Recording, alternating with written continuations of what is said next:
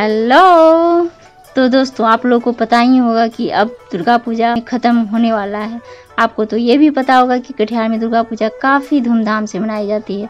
तो नमस्कार दोस्तों, मैं हूँ स्नेहा सावंत। आज आपके साथ कटिहार शहर के एक और खूबसूरत पंडाल को आपके साथ शेयर करूँगी। तो दोस्तों, वीडियो में आगे बढ़ने से पहले अगर आप मेरे चैनल पर नए हैं तो चैनल को सब्सक्राइब ज़रूर कर लीजिएगा।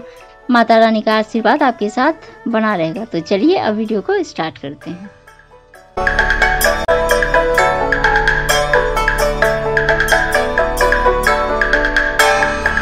खूबसूरत पंडाल में यज्ञशाला का पंडाल भी काफ़ी खूबसूरत बनाया गया है। प्रवेश करते ही गाँव की यादें ताज़ा करने वाला है, जो कि बहुत ही खूबसूरत और यादें देने वाला पंडाल है। जिसको गाँव से प्यार है, गाँव अच्छा लगता है तो उसको ये पंडाल कुछ खास और बहुत ही खूबसूरत ज़रूर लगेगा। जिसको अपने गाँव से प्यार है, वो यहाँ ज़रूर जाइएगा। आपको यहाँ का पंडाल बहुत खूबसूरत लगेगा और कुछ यादें ताज़ा होगी।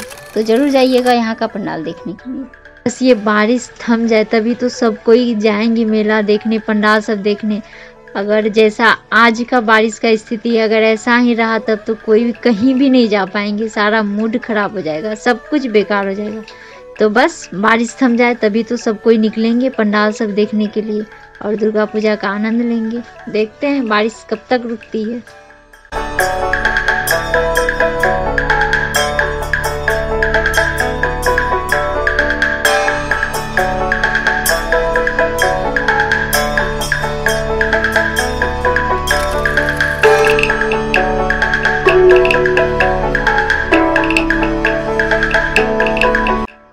तो इस बार यहाँ का पंडाल देखने आप जा रहे हैं या नहीं, कमेंट करके हमें ज़रूर बताइएगा।